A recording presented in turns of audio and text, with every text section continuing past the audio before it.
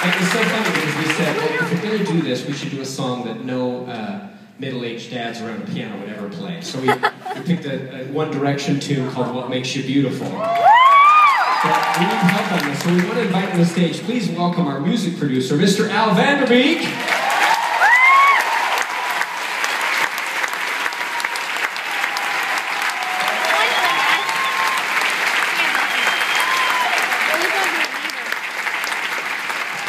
Just take a minute to talk this guy up because honestly, without this guy, we'd be total dweebs. I mean, he's